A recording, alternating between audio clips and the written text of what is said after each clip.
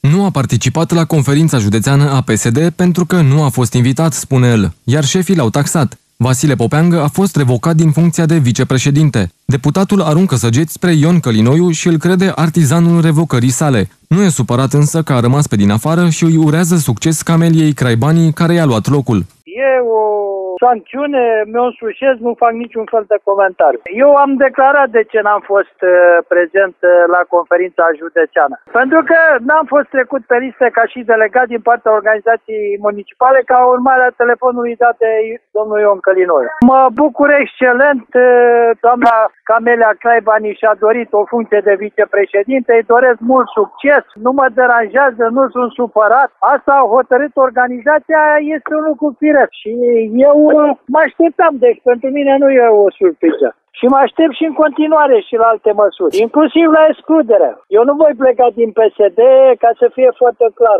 Dacă cred că m-am supărat că m-au uh, revocat din funcția de vicepreședinte, să înșală. Următorul pas, după ce a fost lăsat fără funcție, este excluderea sa din PSD.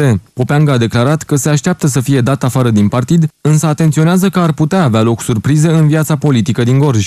Fiecare la rândul lui plătește, a ținut să sublinieze Popeangă. Pe decizia domnului Ion Călinoiu, să-i dea Dumnezeu sănătate și tot ce își dorește el în, în viața asta. Deci, din punctul ăsta de vedere, este clar și a îndeplinit o dorință pe care o avea probabil că mare și dorința, pentru că i-a trasat sarcina lui Florin Căciumaru, dacă îl mai critic să propună și excluderea mea din partid, o să-și îndeplinească și această dorință și să fie sănătos. Dar să nu uite că deasupra tuturor este un judecător suprem care nu ține cont uh, de protecțiile pe care le are el uh, la momentul ăsta. Și că viața politică e foarte dinamică și poate nu peste mult timp ar putea să aibă niște surprize deosebite. Și atunci, sigur că fiecare la rândul lui plătește. Senatorul Mihnea Costoiu a declarat la Gorj TV, în cadrul emisiunii direct la subiect, că Vasile Popeangă trebuia să-și depună candidatura pentru a fi reconfirmat sau nu pe funcție, lucru care nu s-a întâmplat.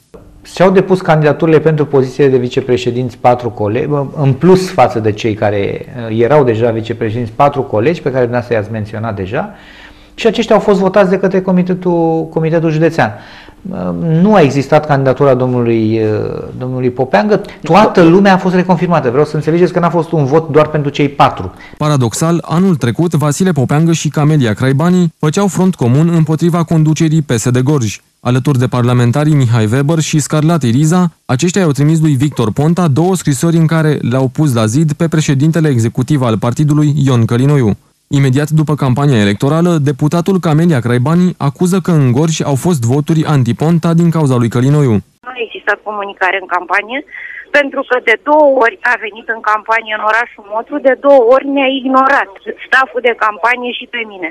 Adică mi se pare lipsit de eleganță și lipsit de, de logică până la urmă. Sunt extrem de dezamăgită și de amărâtă. Eu am înțeles să-mi fac campania în mod civilizat și corect. Am muncit de dimineața până seara târziu pentru această campanie, nu ca să mă laude domnul Cărinoiu, să mă bage în seamă, dar staful meu merita o motivație. Și pentru asta sunt foarte supărată. Nu există niciun pic de comunicare. Ba mai mult, după prima hârtie, a găsit de cuvință bărbat fiind, să se răzbune pe unica femeie dintre parlamentari. Critic la acea vreme a fost și deputatul Mihai Weber. A prins și el un post de vicepreședinte. Este practic un semnal de alarmă dat și ca să știe întreaga organizație că noi suntem percepuți ca un partid uh, puternic, un partid în care există comunicare, în care ar trebui să existe transparență și orice decizie uh, trebuie luată în comun. Faptul că din punct de vedere al parlamentarilor, nu a fost făcută niciun fel de ședință, niciun fel de întâlnire atunci când s-au uh, decis anumite proiecte în județ,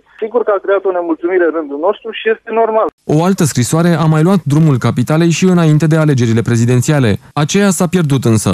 Premierul Victor Ponta a rupt-o și a anunțat urmări după alegeri. Atunci, parlamentarii PSD anticipau un rezultat nefavorabil la alegeri și au trimis o scrisoare lui Victor Ponta. Semnatarii s-au arătat nemulțumiți de felul în care Ion Călinoiu și Florin Cărciumaru s-au ocupat de campania electorală.